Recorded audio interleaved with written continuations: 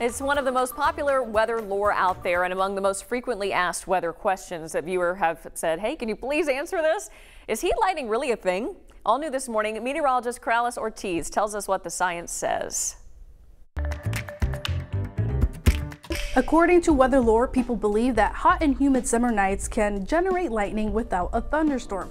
When it comes to the term heat lightning, what you really are just seeing is regular lightning. It's lightning so far in the distance that you can't even hear the thunder.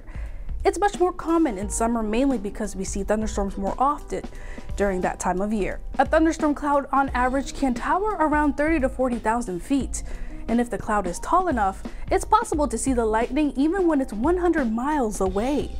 In order to hear the thunder though, you have to be about 10 to 15 miles from the storm. To put it in more scientific terms, sound travels much slower than light. Sound vibrations need a way to get around.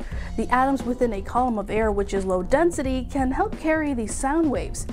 It does eventually slow down and by the time the waves reach you, you might not be able to hear them. Light, on the other hand, is electromagnetic and it doesn't need help from a source to move itself around, which is why it can travel faster. This explains why we see lightning first before we hear the thunder rumble. Science says that the popular old wives' tale term of heat lightning is just a myth.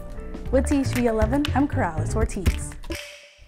Well, do you have a weather question and you want to know what the science says? Send Corallys a message on social media or send her an email at cortiz at thv11.com.